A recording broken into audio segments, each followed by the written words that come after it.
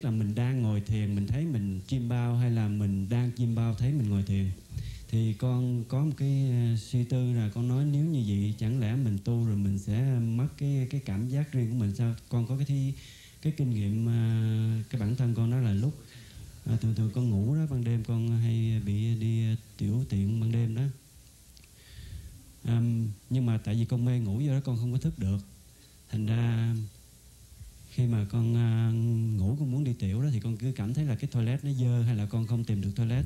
Nhưng mà có cái bữa đó đó con tìm được cái toilet đó nhưng mà con cũng không có đi tiểu được bởi vì con cả lúc đó con lại suy nghĩ là con bị bệnh đó không tiểu được. Thì đùng con thức giật mình thức dậy con đi toilet thì con nói à tại sao cái đầu óc của mình nó hay quá hả nếu mà lúc đó mà mình tiểu là mình đã tiểu ở trên giường rồi cũng may là cái đầu óc óc mình nó biết. Thì nếu mà trong như cái bài đó đó thì mình sẽ uh, mất đi cái cái cái căn bản mà để gồm bên uh, khoa học người ta gọi là giữa cái cảnh giới uh, fantasy và reality đó. Thì uh, thì làm sao mình biết mà mình sẽ có được cái gì? Chừng đó rồi biết. Ừ. mất không? Sư phụ có mất không? Mất không? Ừ. bây giờ ông thầy thấy thấy mất mất cái bà thanh hải rồi thấy ông phật là ngồi đây hả? Có mất không? Họ hỏi gì? Sư phụ có hiểu không? Có giải đáp rõ ràng không? Có mất không dạ thưa đừng có lý luận nhiều quá đi. Tu nhiều lên hai ba năm nữa sẽ hỏi sư phụ. Thưa sư phụ tại vì um, đối thôi. Hỏi cái này chăng ngắt. Chưa biết hỏi lý luận hoài chứ anh uống sữa nó làm sao? Mà anh nói uống sữa như vậy rồi làm sao? Chưa có uống mà mai mốt uống là tính sao? Ok. Tại vì cái bản thân của con đó không có tại gì nữa hết trơn á. thôi đưa microphone cho người khác. Đầu óc lý luận nhiều quá vậy sao tu cả hả nghĩ ba cái chuyện đó hoài không? Cái những cái cảnh giới cao làm sao mà giải thích được? Sư phụ tạm thời giải thích mà thôi. Chứ không phải là giải thích như vậy là cứ mình ngồi đó mình mình mình phân tích hoài như vậy được. Cũng như tình yêu giữa hai vợ chồng làm sao ngồi đó phân tích hoài? Hả? Bà yêu tôi thì bà phải làm gì làm kia, đâu phải như vậy được, phải không? Bà làm đó là một trong những cái hành động thôi, nhưng cái tình yêu không có phân tách được. Cảnh giới trên kia còn cao hơn cảnh giới của ai tình nữa, làm sao mà ngồi đó mà nói được? Tại quý vị cứ muốn hỏi hoài, muốn nói hoài, sư phụ phải tạm thời nói vậy thôi. Nên thành ra nói ra là thấy ghét vậy đó không? Nói ra thì thì không biết là ngồi đó cứ phân tích hoài, trẻ cộng tóc làm ba làm bốn mà không biết cái cảnh giới đó mà cứ nghĩ rằng vậy gì kia là mình tự mình tự mình sao? Cái một à, xây một cái bức tường chặn lại thì mình nói, ồ, sư phụ nói như vậy, tới đó nó vậy, như vậy thôi, tôi không đi đâu. Tôi không đi tôi ở đây. Đừng có nên như vậy, hả? Đúng như vậy sư phụ con có mấy người bạn? À, con có mấy người bạn thì à, ban đầu đọc kinh sách của sư phụ cũng tin lắm cái lý luận lý luận riết rồi thôi cũng bỏ luôn. Đó vậy đó. Yeah. thành ra lý luận nhiều quá khó tu hành. Càng lý luận càng khó tu. Tại sao mà khó tu hành quý vị biết không? Tại những người lý luận nhiều cái đầu óc họ phức tạp nhiều ở trong lắm họ mới lý luận được như vậy. Còn nếu như đứa con nít bây giờ biểu nó lý luận vậy nó lý luận đâu có được đâu sư phụ nói gì nó nó không hiểu gì hết, nhưng mà nó nó rất thương sư phụ. Nó tự giao tiếp với sư phụ, nó ngồi thiền, nó thấy sư phụ. Rồi nó nó nó mừng rỡ, nó học hành thông minh tiến bộ lên. Thì nó không cần biết sư phụ nói cái gì. À. Không phải là những người đó là những người xấu, nhưng mà tại vì họ bị trong cái hoàn cảnh nó phức tạp. Họ quen cái cái cách lý luận rồi cho cho họ tu hành khó. Cho nên thường thường những người mà có học vấn cao á hoặc là biết lý luận nhiều tu hành khó lắm. Còn mấy bà già trầu hả? Trời ơi. Bà ngồi đó cái bà thấy phật thấy trời tùm lum hết. Thấy không? Ừ. Phải không? Phải không? Ờ nghe mấy bà già trầu cảnh giới thèm muốn chết hả? Còn mấy ông mà có bằng bằng doctor rồi nhiều khi ở trời không biết cái gì á. Bà, bà nói cái gì vậy cả hả? Sao mà sư phụ lại nhà bà chơi? Sao không lại nhà tôi chơi? Ai dám lại nhà ổng lại nhà ông ông ngồi đó ông đấu trí hoài. Sư phụ nhức đầu muốn chết. Ừ hôm qua cũng có mấy người ở Sydney á, rồi đem cái thánh kinh vô đó rồi trẻ làm ba làm bốn là cái nhất định. Cột bắt sư phụ ở trong một hai câu nói rồi đó cứ nói hoài nói hoài sư phụ nhức đầu muốn chết luôn. May mà sư phụ bận đi truyền tâm ấn rồi thành ra thoát. Xin lỗi đi ra chứ không thôi ngồi lại chắc nhức đầu chết. Thiệt không, sư phụ không hiểu tại sao có những người là như vậy được. Làm sao cái chuyện nó rõ ràng như vậy mà nói không hiểu được. Thí dụ cứ ngồi đó cãi sư phụ nói trong thánh kinh nói đức chúa giêsu là một vị duy cứu thế duy nhất mà thôi. À cô nói ai cũng có thể làm cứu thế được. Tại vì cái lực lượng của chúa cứu thế là ở bên trong mình đó chúa giêsu là một người con duy nhất của thượng đế thôi. Đó không cô thấy không? Đọc đây đọc không? Cuốn này chỗ này chỗ này chỗ này chỗ này, này. Ừ. nhưng mà trong thánh kinh cũng có nói tất cả chúng ta đều là con cái của thượng đế. Phải không? Ừ nói vậy mà không biết cái chuyện bao nhiêu đó thôi. Trong thánh kinh với nhau mà mâu thuẫn với nhau nó rõ ràng như ban ngày vậy mà không biết. Rồi trong thánh kinh cũng có nói rằng là con phải biết rằng con là một cái giáo đường hả? Và thượng đế ngự trong con, phải không? Như vậy mà cứ cứ cứ chối cãi hoài, cái nó mà không được đâu, không được đâu mày là tội lỗi, mày không có làm sao mà có thượng đế trong mày mày chỉ có một mình Giêsu thôi, chỉ có một mình ổng thôi, này cái cái nọ, cứ nói vậy đó, hiểu không? Rồi Giêsu cũng có nói là, tất cả những gì ta làm được, các con đều cũng làm được, hả? Phật cũng nói, ta là Phật sẽ thành, các ngươi là Phật, ta là Phật đã thành, các ngươi là Phật sẽ thành chứ ông đâu nói mình ông đâu. Mà cứ có ngồi đó, mà cãi hoài nó Phật có một mình, không có ai làm được, không có đó cứ vậy hoài. Thấy không? Tụi mình nói gì cũng không được rồi nhức đầu lắc đầu đi rồi thành ra mệt lắm lý luận càng nhiều á thì tu hành càng khó. Sư phụ không phải trách cứ gì quý vị anh chỉ cảnh cáo cho quý vị biết vậy thôi. Rủi tu hành gặp khó khăn đừng có nói cái phép này nó không tốt. Tại sao không tốt? Mấy bà già trầu có tu được mấy đứa nhỏ nó tu được. Mấy đứa nít. À, cảnh giới không sùm á mấy bà già đó tâm hồn trong sạch. Rồi cái tu không có vướng bận gì. Cái ngồi ngồi nó im tịnh mà có cảnh giới rồi thông thả tinh thần tốt phải không? Còn quý vị cứ cứ nghĩ hoài nó mệt lắm á. Tại tại sao mà nó mệt? Tại sao mình mình nghĩ nhiều thì cái nó bị ràng buộc. Tại mình cứ lẫn quẩn trong cái dòng lý luận. Cái lý luận là cảnh giới nó còn dùng ngôn ngữ hả? dùng dùng uh, cái bằng cái gì? Phân tích hả? Phân tích là thuộc về đầu óc á. Chứ chưa thuộc về thế giới mà cái bằng vô vi à, nói tiếng vô vi cho quý vị hiểu chứ còn bây giờ còn nói hoài mà đó sư phụ con có hai câu hỏi nữa là ừ. trong cái vấn đề mà tu hành á à, muốn cho tiến bộ thì thưa sư phụ có phải là à, đi theo cái con đường mà sư phụ đã dạy là thứ nhất á, là bố thí rồi trì giới rồi nhẫn nhục tinh tấn rồi thiền định thì những cái đó đó mình càng làm nhiều á thì mình mình càng cố gắng nhiều ở trong đó đó thì càng tiến bộ trong cái vấn đề tu hành và khi mà mình có tiến bộ như vậy á, thì thưa sư phụ có phải là trong khi mà mình quán quan đó thì như con chẳng hạn như con mới vào đây thì sáu bảy tháng gì đó thì con ừ. thấy cái cái cái màu sắc thì con thì con con thấy có nhiều cái tiến bộ ừ. nhưng mà con hỏi sư phụ là uh, theo cái lúc mà con truyền tâm ấn á thì nó có cái năm cái đẳng cấp về ánh sáng chẳng hạn ừ. thì cái ánh sáng khi mà mình có tiến bộ như vậy thì nó có thay đổi cái màu sắc không? Cũng như cái âm thanh nó thưa sư phụ là nó có tăng lên như vậy không? Có có thay đổi. Nhưng mà nhiều khi mình phải biết cái trong cái đời sống hàng ngày của mình á nó có thay đổi hay không? Ừ. thí dụ như mình có thương yêu người khác nhiều hơn không? À, cái lòng nhẫn nại mình nó có tăng thêm hay không? Mình có hiểu thông cảm người khác nhiều hơn không? Rồi trong nội tâm mình nó an ổn nhiều hơn không mình thấy đầu óc mình lúc nào nó cũng tự tại an nhiên. Mình không đòi hỏi nhiều mình không có thắc mắc gì nhiều mình không có phức tạp nhiều. Đó là một sự tiến bộ tốt nhất chứ không phải cần gì phải ngồi đó mà nghe âm thanh. À, từng thứ mấy từng thứ mấy. Hoặc là cái ánh sáng nó từng thứ mấy từng thứ mấy. Nhiều khi mình vượt qua nhanh quá mình cũng coi không kịp. Hoặc là mình ngồi đó mình mệt quá đi cái đầu óc mình nó không có để ý nó không có có, có, có chép vô. Cái đầu óc mình nó không chép nhưng mà cái linh hồn mình nó vẫn an nhiên ở trong cái cảnh giới đó quý vị hiểu không? Ừ thành ra nó khác. Ừ. cái đầu óc có nhiều khi nó mệt quá thấy không? Thí dụ đó quý vị rất là mệt mỏi ha. Mặc dù quý vị biết đọc báo đọc sách nhưng mà ngồi đó cái lúc mệt rồi đó dòm thì thấy chữ biết đó nhưng mà không có hiểu nói cái gì đó, phải không? Hoặc là sư phụ nói cái gì quý vị ngồi đó nghe nhưng mà không có hiểu gì hết á phải không? Đó là lúc đầu óc mình quá mệt mỏi. À, chứ không phải mình không hiểu những cái đó thấy không? Sư phụ vẫn nói à anh vẫn ngồi đó anh vẫn cố tâm lắm nhưng mà anh nghe cũng được. Bởi vì đầu óc quá mệt mỏi hoặc là phân tâm tới những cái chuyện à, cực khổ khác à, à, đây đại khái như vậy. Khi mình tu á nhiều khi cái đầu óc mình nó bị thế giới hành hạ nhiều quá mệt quá rồi làm việc nhiều mệt quá con gái nó đòi hỏi nhiều quá vợ chồng xào xáo hay là bà con dòng hỏi ấy, nó, nó cái niệm kinh hoài mệt quá. Niệm cái gì đó mệt quá. Thành ra cái lúc mình ngồi đó đau mệt quá. Đầu óc nó không có còn tự, thức tỉnh để mà nó thấy mình có hay là không có? À, vậy thôi. Chứ nhưng mà linh hồn mình vẫn có lên như thường. Vậy đó ha.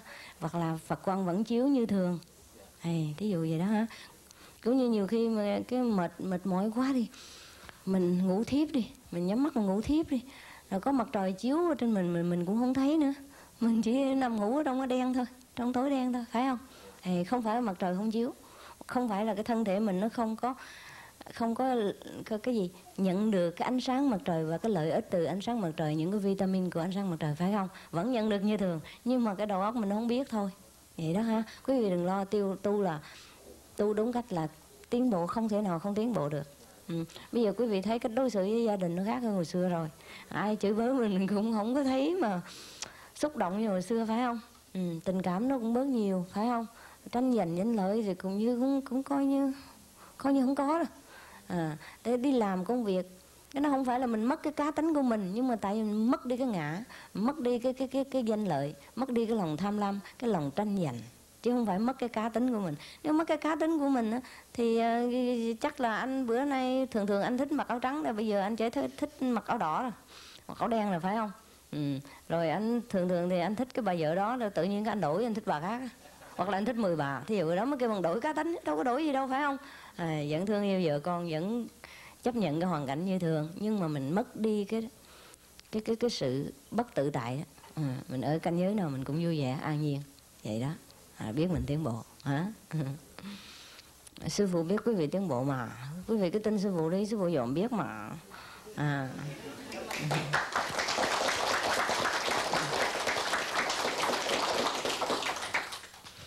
Thưa sư phụ con có một câu hỏi nữa là ví dụ như là con tu hành á con có sự tiến bộ nhưng sự tiến bộ nó mới lên cái, cái tầng thứ hai thôi ừ. bây giờ con con biết á con tin rằng khi mà con ờ, con mãn phần là sư phụ kéo con lên trên đó ừ. nhưng mà con chưa có đủ cái cái cái sức để con lên trên đó ừ. thì khi con lên trên đó con có chịu được cái cái cái có phải bị cải tạo sư phụ cải tạo cái gì để nó thích hợp trên đó không Trời một con sẵn rồi đi cải tạo cho nghe nói hết rồi. Người ta đã sợ cái chữ đó lắm rồi mà đừng có nói ra. Dạ, thưa sư phụ là con con nghĩ rằng cái cái người nào nó ở cái, cái tầng nào đó thưa sư phụ thì nó mới chịu được cái cảnh đó thôi. Còn bây giờ bắt lên cao quá ví dụ con đang học cái tiểu học thôi. À. bây giờ sư phụ đưa con lên cái đại học thì con ừ. lên trên đó là con ừ. có chịu nổi không? Chịu nổi không chịu nổi là cái cái đầu óc mình nó không chịu nổi á chứ không phải cái linh hồn mình. Ừ, hiểu không chịu nói sợ sợ tra thương yêu giận ghét đều là cái đầu óc của mình hết á. Chứ đâu phải cái linh hồn đâu. Linh hồn là bất biến mà phải không? Cho nên khi mà mình đi lên trên cõi trên rồi sư phụ biểu sách xách cái đầu óc bỏ qua một bên. Không dùng nữa. À, cái linh hồn mình đâu nhầm gì? À, cho nên nghiệp chướng mới rửa sạch được chứ. Nếu mà nghiệp chướng nó còn dính trong cái linh hồn mình sách đâu nó cũng có đó. À, quý vị hiểu ha? À, vậy mà nó không tiến bộ. Nếu không tiến bộ sư phụ nói cái đó không hiểu gì hết à, mà không thể chấp nhận được một cách lẹ như vậy hiểu chưa? À, tức là có tiến bộ. À, ít cứ khi gặp sư phụ mình vậy là có tu hành cái tiến bộ mới hiểu liền mới chấp nhận được liền. Người mà chấp nhận mà miễn cưỡng chấp nhận và một người chấp nhận mà ngộ là nó khác thấy không? Mình thấy thái độ mình biết liền. À. Vậy hỏi cũng cao cấp lắm á không có tới nỗi nào. À. sư phụ thấy đồng đồng tu Việt Nam ở úc tinh thần có khác hơn đồng tu những uh, những cái bằng những ờ, cái bằng đồng bào Việt Nam ở những nước khác có lẽ tại ở đây đời sống nó được thanh thản hơn ăn ăn ăn lành ăn ăn nhàn hơn. Kêu an ninh hơn đó an ninh hơn đó. Không ai có súng ống gì nhiều đó. Rồi đi ra ngoài rồi cũng ai kỳ thị nhiều đó. Nhẹ nhàng rồi, rồi đất nó trống trải đó. Con người có không khí thở à, gần thiên nhiên sạch sẽ cho nên cái những người ở Việt Nam ở, ở Úc à, cái tinh thần khác hơn. À, sư phụ đi ba bữa rồi không có thấy ai hỏi những câu nào sốc ốc hay là cố ý muốn khiêu chiến này kia hay là muốn hả? Muốn chia hai đất nước rồi cái kiểu đó không có. À, à không có. Hỏi thì thiệt là muốn hỏi chứ không phải có nhiều khi những đồng bào Việt Nam ở xứ khác hỏi không phải là muốn hỏi. Họ hỏi để cho người ta biết mình hay thứ nhất hoặc là hỏi để mà nhất định kéo sư phụ xuống cho cho cho vui hiểu không? Tức cái gì đó không phục cái gì đó. À, ở đây không có ở úc không có đồng bào việt nam ở úc không có. À, sư phụ thấy cũng cũng mừng ha. Cái là quý vị cái đầu óc ở đây nó thanh thanh khiết hơn chú trọng về đời sống tâm linh nhiều hơn là đời sống vật chất hả còn thí dụ như sư phụ đi chỗ khác thế nào hỏi sư phụ sao đeo bông tai chi vậy? Tôi đeo kiện tôi hỏi chi? Tôi đeo với anh đeo đâu. Phải không? À. À. à tôi đeo được kệ tôi mà phải không? Đẳng cấp tôi thấp kệ tôi. Anh lo anh tu là anh tìm ông phật của anh phải không? À, hỡi nào anh hỏi chuyện của tôi với mệt. Nói về chơi cho vui thôi chứ còn chuyện đó nhầm gì đeo cho nhiều đừng mà, mà cho bớt người vô lăng nhăng. Mình kêu mình mình lượt qua một cái một cái vạch son lượt qua một cái cái gì? Một cái từng son phấn hả? Làm cho mấy người mà cứ để ý tới vấn đề vật chất nhiều quá ở bớt ngoài đi. Hả? Người nào mà dòm gì cũng không như không thấy gì hết á. Không có chướng ngại trong tâm hồn, không để cái vật chất chướng ngại chừng nào vô tu cho nó khỏe, bớt sư phụ đi, chứ mấy năm gần đây mệt quá. Người nào cũng nhào vô tu, rồi tu, rồi nhào ra, nhào tới nhào lối rồi còn la lối um sùm nữa phải không? Mang nghiệp, mất công sư phụ nhức đầu. Ừ sư phụ thấy là càng ngày tu càng tiến bộ có bộ so song phấn rồi cái bộ tu được hơn á.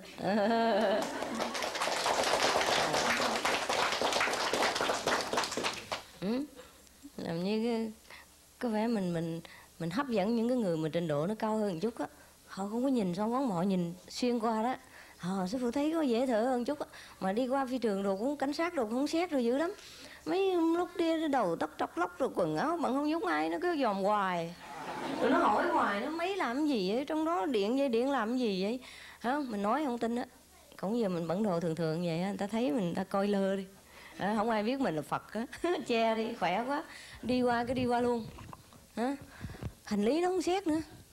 Hành lý không có xét nữa. Mấy chục tuần hành lý bốn trăm ờ, bốn năm trăm kg quý vị có biết không? À, nổi tiền mà mà mà mà mà. Cái gì? Để mà trả mà cước phí mà mà nó nặng quá quá đó là là là, là đủ xây chùa cho quý vị ở rồi. Nhưng mà nếu xây chùa thì sư phụ không có tiền để đi thăm quý vị thì nó sư phụ không có xây phải không?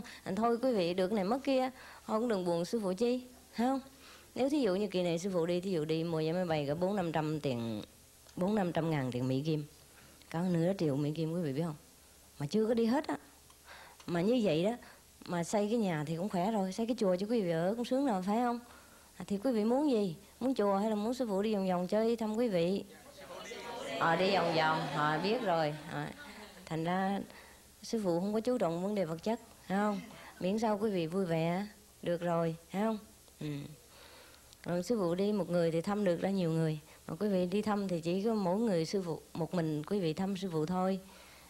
Thành ra sư phụ không có chú trọng vấn đề xây nhà cửa xây chùa. Nếu chứ mai mốt mình có tiền nhiều thì mình xây chứ phải không kỳ này có nhiêu mình đi dùng vấn đề khác cho nó cấp bách hơn một chút. Chừng nào mình cấp bách mình đã giải quyết xong hết rồi. Những cái vấn đề sau mình làm sao ha? Quý vị hiểu rồi ha? À, thành ra theo sư phụ tu nó hơi nghèo một chút đừng buồn nhá đừng buồn á còn không đi kiếm ông khác. Kiếm ông nào giàu đó tu hả? Thiếu gì thế giới thiếu gì ông thầy giàu sống đi theo. Không khá hả? Chứ đoàn thể mình giàu đó sư phụ mà giàu, giàu, giàu tinh thần đó. Giàu tinh thần quý vị thấy không? Yeah. tu hành tiến bộ rất nhanh chóng phải không? À, rồi nó có hợp tác với nhau phải không? Mà có kỷ luật phải không? Rồi có đi cộng tu đều đều thấy không? À, có những cái chỗ khác ví dụ có chùa lớn nhà, nhà, giáo đường lớn hoặc là cái chỗ cộng tu lớn sạch sẽ đẹp đẽ sang trọng mấy lạnh mấy nóng tùm lum. Nhưng mà tu lại rai thấy không? Tu ít ít thôi. Sư phụ có thấy mạnh bằng cái cái đoàn thể tinh thần của mình mình thiếu vật chất mà giàu tinh thần ha. Còn hơn là thiếu tinh thần mà giàu vật chất quý vị hiểu nghĩ thấy không? À, mà cái đoàn thức đoàn thể mình là lai rài đâu không có tổ chức kỳ trường không giống ai hết ha. Hả? Tà tà tà tà có thì giờ tu hả? À. à. tại vì bữa nay con thấy sư phụ xuống thì sư phụ mệt á. Ừ. nhưng mà tại thấy sư phụ vui quá con xin phép sư phụ cho con hỏi sư phụ thêm một câu nữa không sao không sao à, ừ. cũng như uh, sư phụ nói là à, hãy uh, người nào mà thọ pháp môn quán âm á, thì cứu được năm đời ừ. thì thiệt tình mà nói khi thọ pháp môn rồi á, thì con ngủ á, con nằm chim bao con thấy á, mà cha mẹ cha con chết rồi đó thấy hết thấy đủ ừ. hết ừ mà có mình ông già chồng á bà già chồng ghẻ cũng thấy luôn trời chồng ghẻ nữa à, cho có ghẻ xong dạ. à, bà già chồng sau đó cũng à. thấy luôn yeah. nhưng mà ừ, bà chồng bà bà già ruột của con á không thấy. thì khi mất á, thì con không thấy à. cái con nghĩ chắc má con nó chắc có tội nhiều cho nên á, con thờ cái hình sư phụ ở trong phòng á à. cái con lại ngay cái hình cái sư phụ con giấy à. con nói nếu mà má con có cái tội gì nặng xin sư phụ cứu vớt ừ. rồi cái sau đêm đó con ngồi thường thường con ngồi thiền á, thì 9 giờ á, 9 giờ đêm đó con ngồi thiền á, một tiếng rồi con đi ngủ nhưng mà con ngồi mới đâu khoảng chừng à, nửa tiếng chưa tới nữa thì sau lại con thấy con đi sư phụ mà con tỉnh là con không không không phải ngủ mà con ngồi thiền con không có ngủ mà trong lúc đêm đó thì con của con nó cũng có chuyện tâm ấn thì nó cũng thấy cửu quyền thất tổ của con đông lắm ừ. mà trong đó có luôn cả ông già chồng à, ghẻ ghẻ của con nữa ông già chồng nuôi ông già chồng nuôi còn sống mà cũng thấy thấy à. sư phụ chia bánh kẹo cho ăn ừ. nhưng mà má con á thì à, con lại không thấy tập trung ở trong đó mà ừ. cũng trong đêm đó ừ. thì ở chỗ nhà con đi lại chỗ ờ, cỡ năm cây số có cái thành lính thì sau con lại con ngồi thiền mà con đi con đi lại chỗ cái ngã ba đó là ngay trước cửa thành lính đó, chiếc xe con vừa đậu cái bảng stop á thì con thấy má con ở trong bên cái cổng thành lính đi ra nhưng mà con nói ủa má rõ ràng mà má con á, thì hồi lúc gần chết á, thì khòm lưng mà bây giờ thì mặt mày tỉnh táo lắm sáng sủa nhưng mà không có khòm lưng mà đi ừ. đi uh, mạnh dạng lắm thì thấy bên đường uh, cửa thành lính đi băng qua lộ ngay cái đầu xe của con thì con nói ủa kìa à, má kìa thì tự nhiên con nhớ ủa mình ngồi thiền đây mình tỉnh mà đâu có đâu có ngủ đâu ừ. thành ra tại sao mà con lại không thấy má con tập trung ở trong của quyền thất tổ mà ở trong thành lính đi ra sư phụ thì lúc đó mới đi ra. Dạ. Chậm. Dạ. Con thì con giái con giái sư phụ á xin sư phụ cứu vớt sợ má con không biết cái tội gì nặng á. Trong thành lính cái, trong thành cái lính chỗ đó, đó là chỗ ta canh gác. à, canh gác đó người đâu có gì trong đó mới ở trong á. Dạ. có gì lộn xộn ở trong. Dạ. ừ, nhiều khi nó hơi chậm á. Dạ. ừ. xin cảm ơn sư phụ. À, không có chi chị bác thấy vậy là biết rồi đi ra là khỏe rồi mà không có lính rồi canh gác không có còng gì hết mà đi dạ. thẳng lưng là, dạ, dạ. là mạnh dạn là biết rồi dạ mà đi ngay lên đầu xe của con ờ thì vậy là biết rồi cho bác thấy chứ bác nói dạ, không ra mà trong lúc đó thì con ừ. ngồi thiền không có ngủ con tỉnh ừ. mà mà sao con đi mà lại đó không biết dạ biết rồi dạ. cho bác biết á dạ. ừ. xin cảm ơn sư phụ ok tại sao mà bà không tới đó tại bà chậm bà bị giam trong kia rồi bây giờ ra rồi đi mạnh dạn hết khom lưng là biết rồi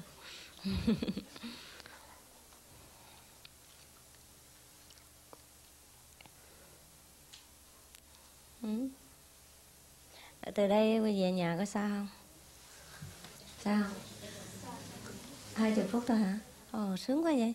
Vậy quý vị đồng tu ở đây đi ở gần ha đều ở gần gần đây phải không? Có người nào xa lắm không? Thì cũng có một hai người ở xa thì cũng có tiền bảo với tụi đi à. nhưng mà lâu lâu một tuần đi lần mà ha. À vậy thôi thì mai gặp nữa hả mai ờ, nói pháp chưa à mai đi giảng kinh chưa? À thì mai quý vị tối mai quý vị lại chơi nữa. Có có rảnh không? Ban đêm rảnh mà hả? À, ban ngày đi làm hả? À, ban đêm à, nghỉ ngơi hả? Người rảnh làm gì? Nghỉ đi phát trường đơn hả? À, thì coi có chuyện gì đó thì làm. Ừ. chứ không lẽ tối ngày ngồi đây hoài sao? Ngồi cả ngày đây làm gì? Hả? Canh hả? Thì cỡ chừng chiều chiều hay lại hả? Hoặc là tối hay lại chiều chiều lại ngồi chơi rồi ngồi thiền gì đó hả? Chỗ này là chỗ riêng của quý vị thì nó khỏe quý vị muốn lại hồi nào cũng được. Muốn ngồi thiền bao lâu cũng được chứ còn những chỗ khác là khó. Nhưng mà thường thường có ngày nào cũng lại không? Không có mà từng lại ngày được rồi. Ừ, vậy là tốt lắm mà không có ai đuổi còn mấy cái chỗ mướn như Sydney á nó quá mấy phút nó cũng đuổi có nhiều chỗ đồng tu không có tiền mướn không có tiền mua đất tại vì đất mắc quá đó. Đây là phải mướn mướn mà người ta tính từng phút á. Mình chậm nó đuổi á. Đuổi chạy khóc rồi nữa chứ. Sợ kệ. Hả? Mấy giờ mấy giờ quý vị tiện? Mấy giờ. Hả? Ờ à, bảy giờ tiện mà cho có người người ta làm việc rồi nữa hả? Ừ ừ, vậy thôi mà hả? À, lâu lâu gặp chút thì đủ rồi mới nói các ngày ngồi hoài. Chồng con bỏ bê đâu có được. Hả? Phải ở nhà coi sóc gia đình con cái hả? Thương yêu chồng vợ chút đỉnh rồi ban đêm dành chút thì lại thăm sư phụ vậy. Hả? Chứ ngồi cả ngày sư phụ đốn ngồi đấy hoài cho mấy người dòm nữa mà. Hả? Sư phụ làm chuyện khác hoặc là nghỉ ngơi đặng mà dành cái dành cái sức lực để mà khi nào quý vị lại thì thì mà tiếp đái quý vị tiếp đái quý vị. Chứ ngày nào cũng vậy ngày nào cũng thức khuya dậy sớm à, nói chuyện cả ngày cả đêm vậy đó. Sư phụ cũng phải phải giữ chứ. Còn hai mươi mấy nước nữa. Đi hai ba tháng đâu phải đi một bữa đâu ha. Anh quý vị chia sẻ mỗi người một chút vậy đủ rồi ha. À, tri túc tiền túc ha. À, tự cho đủ là nó đủ hả ừ. đại túc hà thời túc hả trí nhàn tiện nhàn đại nhàn hà thời nhàn biết rồi ha ừ. mình biết đủ là đủ ừ. Mình, à. À, không biết tại sao vậy tại cái máy bay đó vấn đề máy bay chứ không phải sư phụ binh bên nào bỏ bên nào không nhiều khi máy bay nó nó nhầm những cái ngày đó không có hoặc là nó nó nó đầy hết rồi thành ra phải đợi như vậy à. Chứ không phải sư phụ cố ý ở đâu lâu mà ở đâu lâu. Nhưng mà sư phụ tới đây thích á thích hơn là ở mấy cái chỗ Sydney với Melbourne có lẽ ở đây có duyên hơn. Chứ không phải thích không thích gì. Sư phụ đến đây cái cảm thấy làm như về nhà mình ấy, cái kiểu mà nó có vẻ quen thuộc đó. À, còn ở Brisbane Sydney ta tiếp đãi rất là nồng hậu. Đồng tu Việt Nam đông nhiều hơn ở đây lắm. Nhưng nhưng mà sư phụ cũng không cảm thấy gì.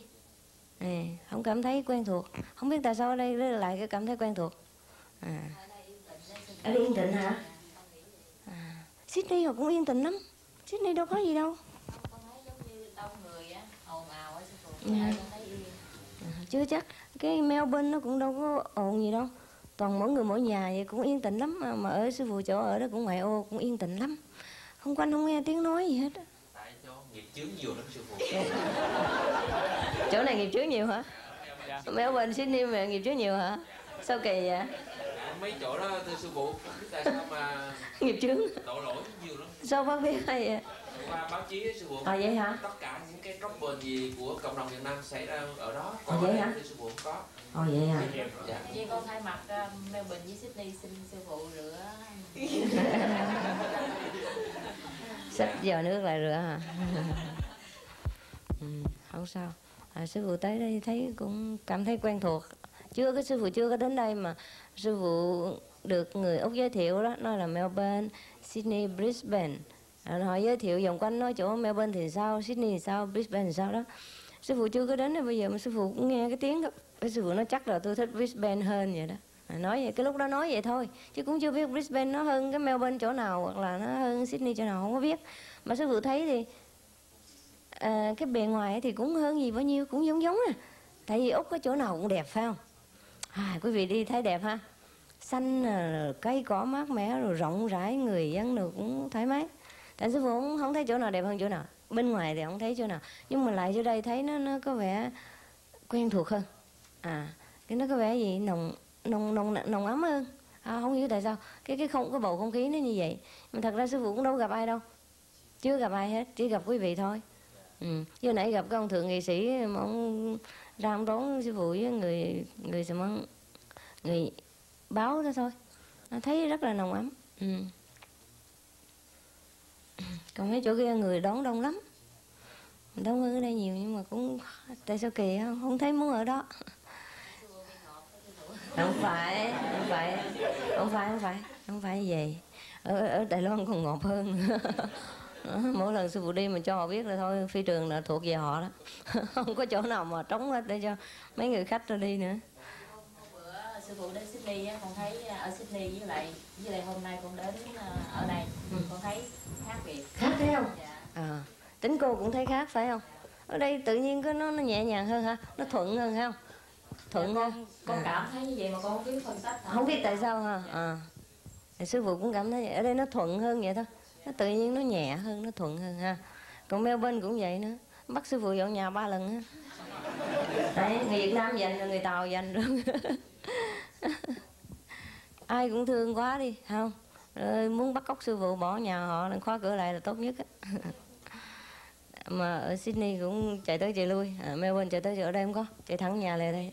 Về một mặt rồi đây không nói năng gì nữa không có cực gì hết sư phụ con thấy là nhận xét của sư phụ ờ, rất là đúng à. thì qua mấy cái ngày mà, mấy cái kỳ mà đi phát truyền đơn phát sách uh, trước khi sư phụ đến đây đó ừ. thì con thấy đồng bào ở đây đó có biểu lộ những cái uh, cái cử chỉ những chiều hướng rất là thuận lợi cho yeah. sư phụ kia lắm yeah. họ dành có nhiều cảm tình kia lắm yeah, yeah. À, thứ nhất là vấn đề mà con treo poster ở ngoài đó sư phụ ừ.